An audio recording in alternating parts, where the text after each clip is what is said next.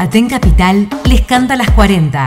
Cuatro décadas de lucha, cuatro décadas en defensa de la educación pública. Aten Capital les canta las 40.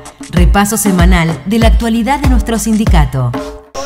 Buenos días a los compañeros y compañeras de la provincia. Estamos con Juan Celedón en una semana fundamental en la lucha de los derechos humanos.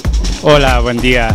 Eh, sí, un saludo también a todos los compañeros de la provincia y eh, una semana fundamental. Estuvimos en el, juicio, el octavo juicio llamado de la escuelita en Neuquén y nos preparamos para participar activamente y llamamos a todos los compañeros a participar de la marcha del 10 que es eh, la marcha de la resistencia, una marcha que nunca se dejó de hacer en Neuquén por la política que han llevado adelante las eh, madres de Plaza de Mayo de independencia de, los gobiernos principales. Y además asumen los dos gobiernos, a nivel provincial y a nivel nacional. Sí, justamente es el mismo día en que asumen los gobiernos, eh, un gobierno al que nosotros despedimos, digamos, exigiéndole lo que nunca eh, pudo darle al pueblo y o no quiso y un gobierno que se acerca y que le exigimos lo mismo porque no queremos la continuidad, no lo vamos a aceptar, el ajuste que nos vienen prometiendo hacer. Bueno, por eso nos estamos organizando y convocamos este 10 de diciembre a todas las compañeras y compañeros que tenemos que ser muchos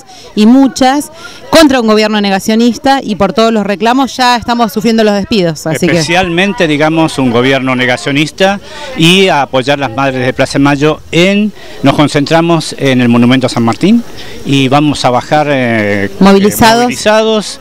hasta el monumento. la plaza, el Monumento a la Madre. Bueno, bueno, muchas gracias Juan, un saludo a, los compañeros de todas las provincias y bueno, participamos activamente al 10.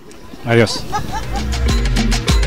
Esto fue Aten Capital les canta las 40, el repaso semanal de la actualidad de nuestro sindicato.